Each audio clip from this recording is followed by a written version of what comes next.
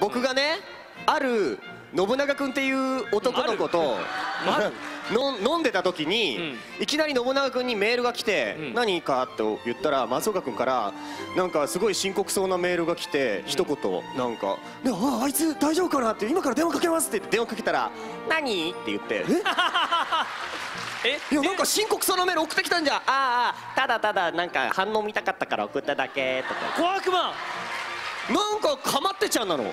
すごく。あいつそんな一面が。そんな感じなのにその場を離れてそこから2時間ぐらいずっと喋ってんの。あいつ戻ってこねえな。って松岡君とずっと喋ってんの。電話したいからメールしたらしくて。君こっちサイドの人間やったよな。あれ？いやでもあの時は本当にちょっと信長と話がしたくて真面目か。本当にあとここに関係ねえやつやねえか。あいつはお前の彼しか。